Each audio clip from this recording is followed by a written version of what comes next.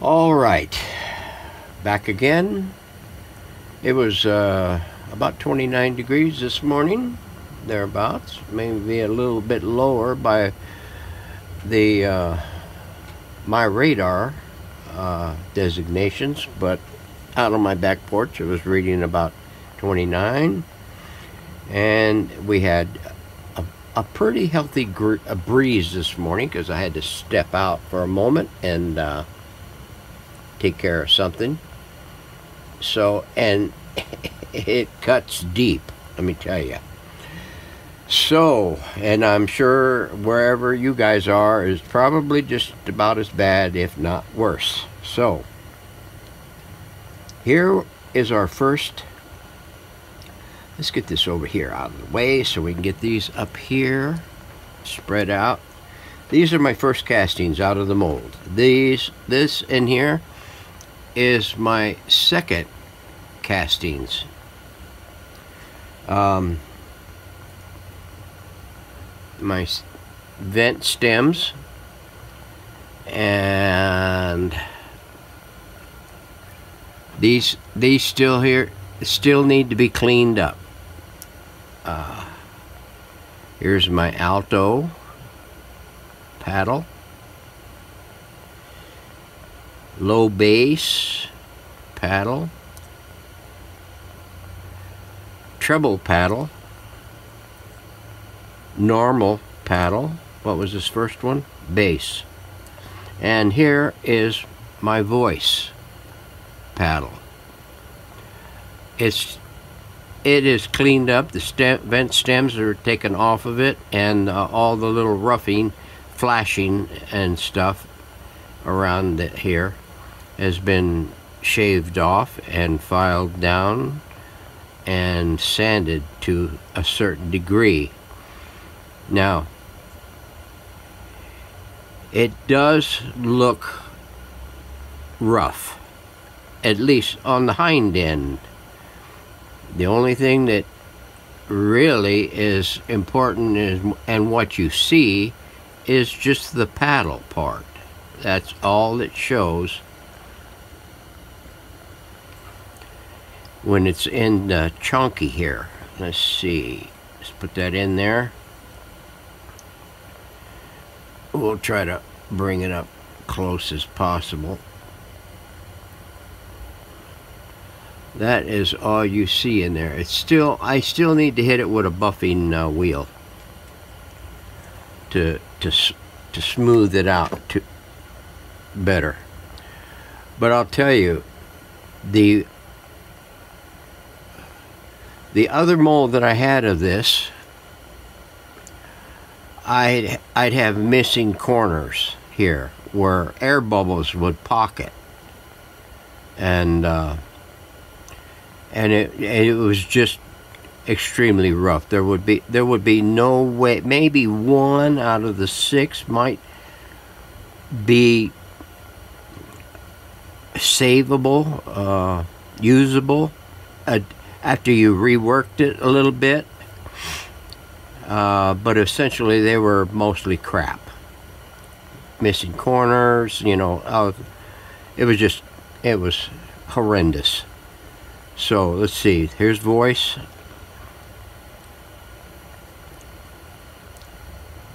Here's the original one.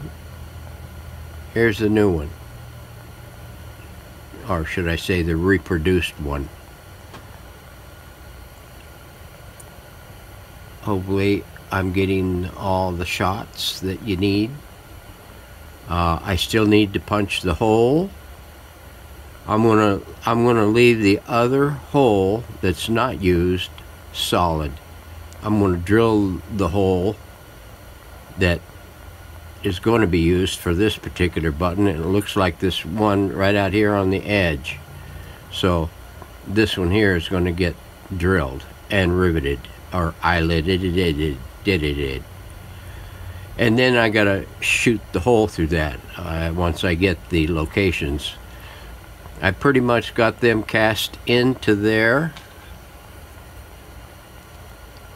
so uh, I can drill right through that and be pretty reliably close. So there are those. This one, these old ones here, you can see they're discolored real bad. I don't know what that's from. It might be age, it might be exposure to uh, to moisture uh, or heat.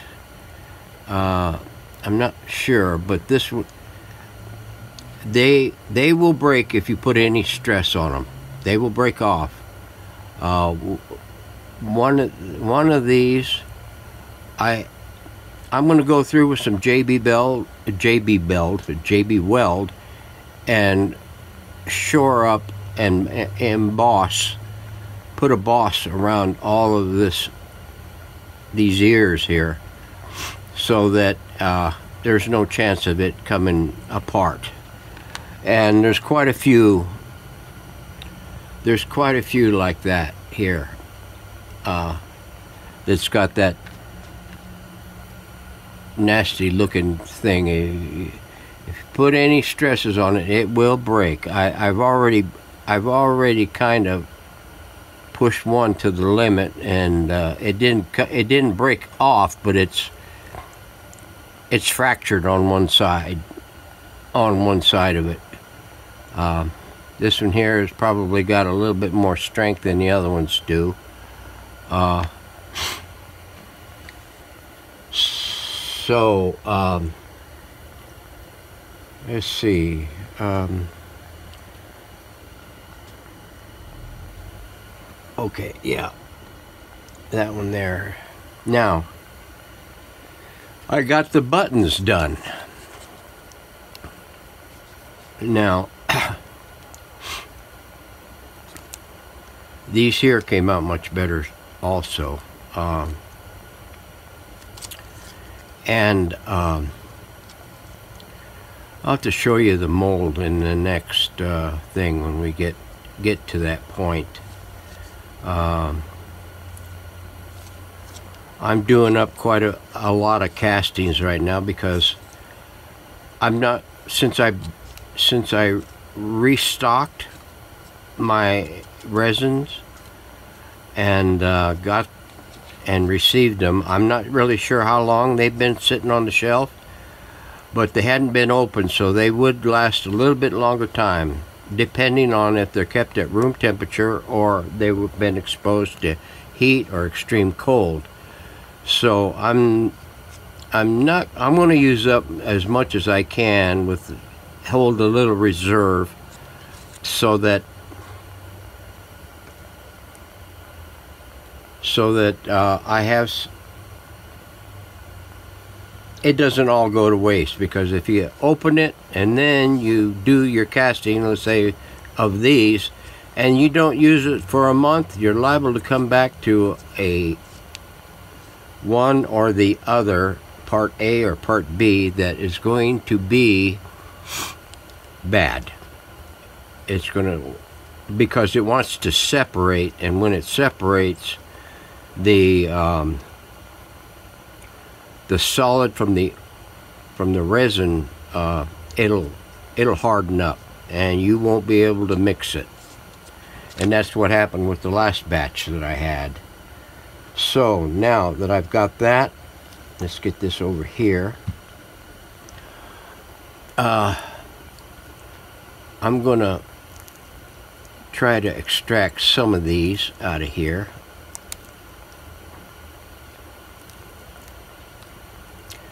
The best of my ability and what it will allow.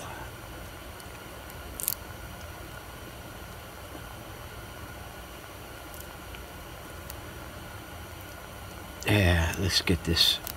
There we go cracked loose. This here I did uh, yesterday late, well, evening, yesterday, yesterday late afternoon. And uh,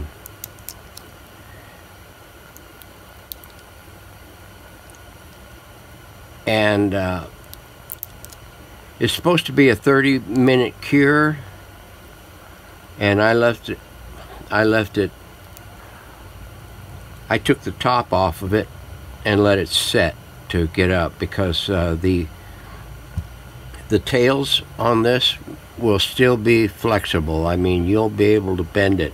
And I just wanted to make sure that if I stressed it any, it wouldn't, uh,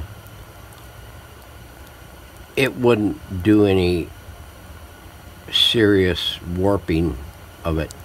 So now that I've got pretty much all of that pretty much set up, we will try to extract this out. Hopefully you can see that. Flashing all around here and the vent stems. And uh, this one here, a little better shape than the other one was. Let's get those over there. Let's take this one here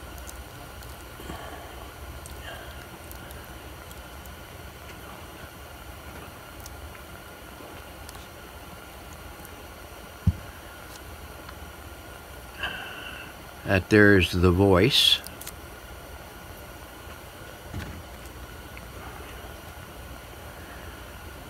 Now, uh, I did, I think the reason why I got better quality out of this here than the previous mold was uh, the, the other silicone was tin, tin cured it, it's a tin cure, T-I-N cure. This here is a platinum cure. So we've got a little bit better strength and uh, you'll get a lot more castings out of that. It costs a little more.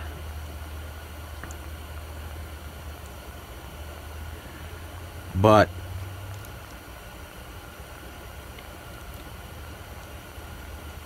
you'll get a you'll get a better casting out of it. And uh, if you need smooth faces on the finish portion of the thing you'll get a nice bright shiny smooth whereas you you probably won't with the uh, with the tin cured silicone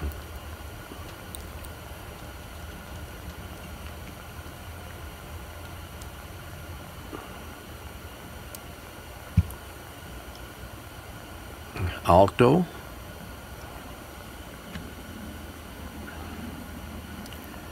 Let's get this flash off of here. Okay. There we go.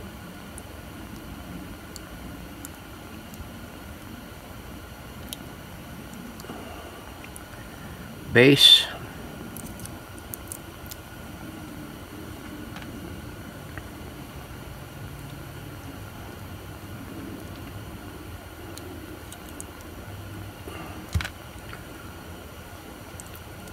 low bass. This uh, pivot stem here that the pivot rod goes through once it's once it's drilled I'm going to put me a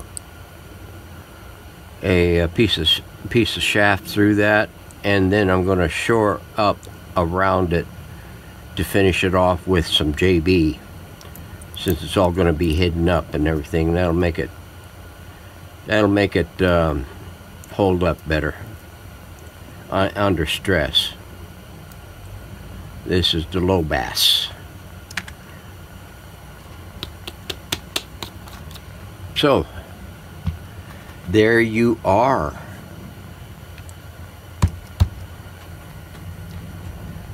Good investment for this uh, stuff. It's cost a little more but it'll be worth the uh, it'll be worth the money if you want if you need to get good quality.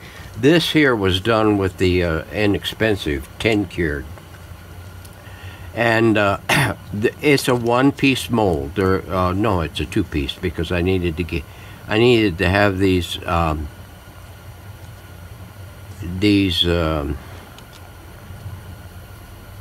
holes in the button because it's gonna it's gonna be on a, a flat shaft. Uh, so I had to do that. And I'll show you I'll show you this uh, this mold as soon as I can get it. So hang on there'll be more. Okay here is my mold for these buttons here. Uh, these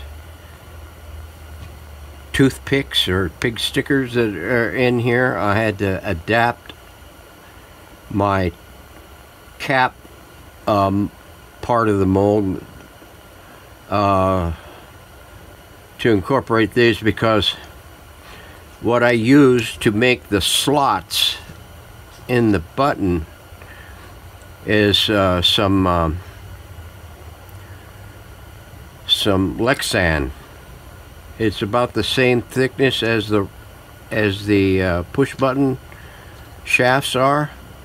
I had to shave it a little bit in order to get the same the proper size as as far as fitment um, and then I had to put holes in it because the silicone rubber alone won't be enough to hold those see if I can get this apart you have to goop them up pretty good with some KY jelly or or uh, Vaseline petroleum jelly to keep them keep them from sticking because if you if you go ahead and you don't use any mold release on it uh, it'll stick so uh, that's the purpose of these things is to hang on to that that plastic piece. And if I can get these apart here I'll show you what I am talking about.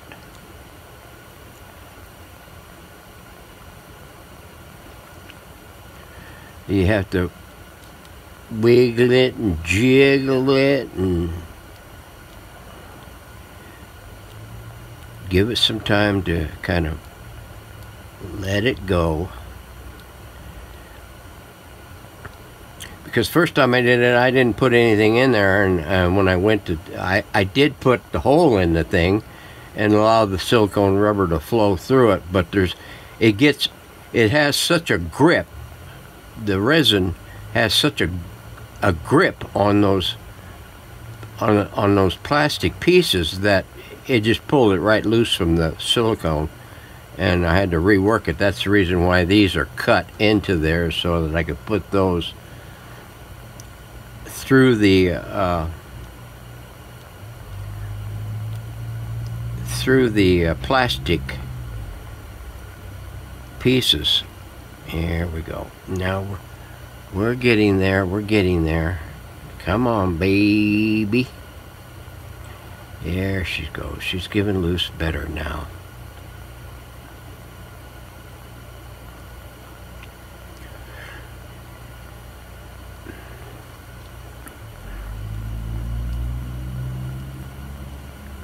We go. Come on.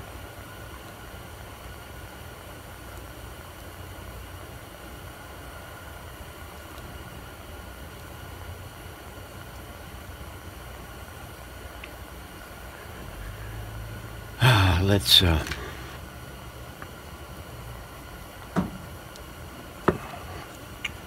put this in there so that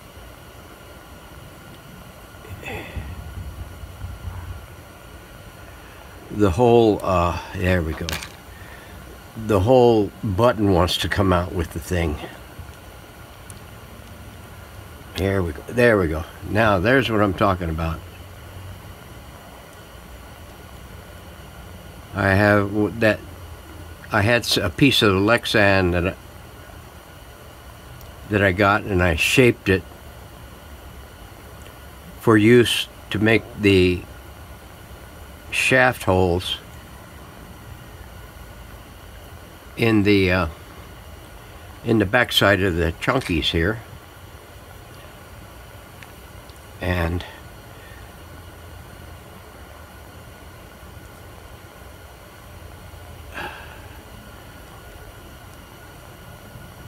get this to let go.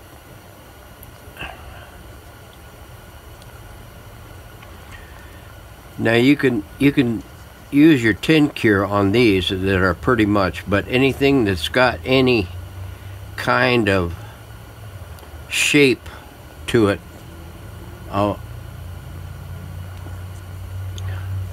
a multi-dimensional shape to it, you you should use you should use the the platinum cured ones because it'll hold up better. And if you had to do it with with this tin cured stuff uh, it will degrade quickly. There we go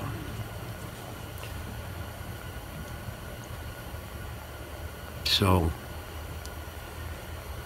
now we've got two sets of buttons here. I got I ordered a full set of buttons from the um, from the uh, Renovated Radio's website, but they only shipped two. I guess they only had two available. They don't indicate that any is on back order, and uh, they don't indicate whether or not they're ever going to have any more of those but uh,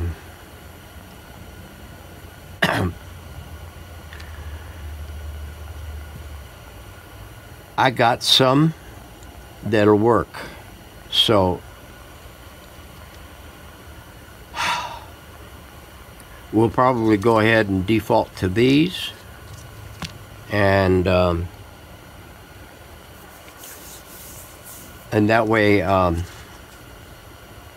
I'll have a full set. Now, I am casting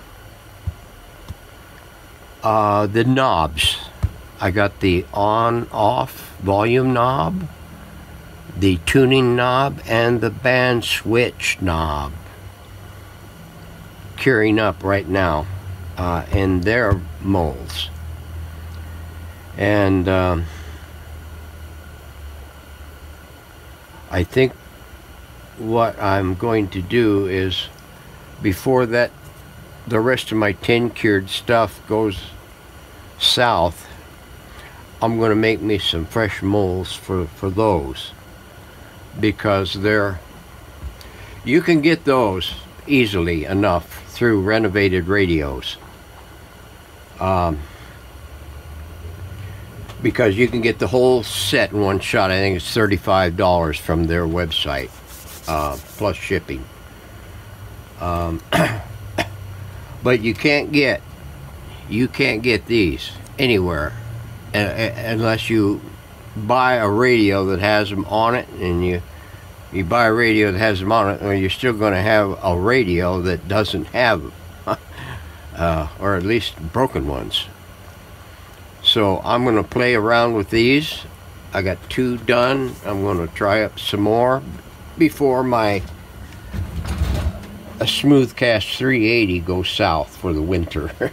So my last batch went went south on me and and I didn't uh, get a great deal of castings done on it because one reason or another I guess busy. So um, thanks for watching hope you got something out of this let me know what you think of those paddle switches handles. And um, we'll try to get out here and get some stuff done on the chassis. So uh, see you later.